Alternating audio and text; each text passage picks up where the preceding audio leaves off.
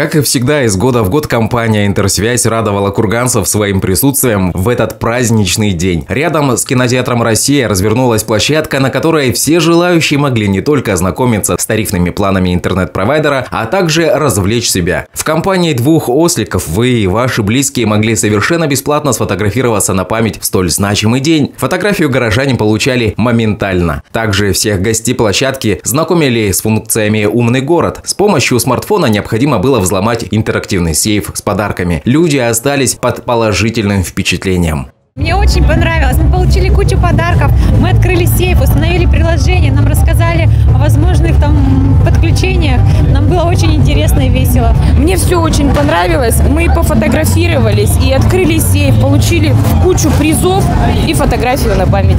Представители компании «Интерсвязь» обещают, что каждый год они будут радовать курганцев своими площадками с интересными интерактивными технологиями.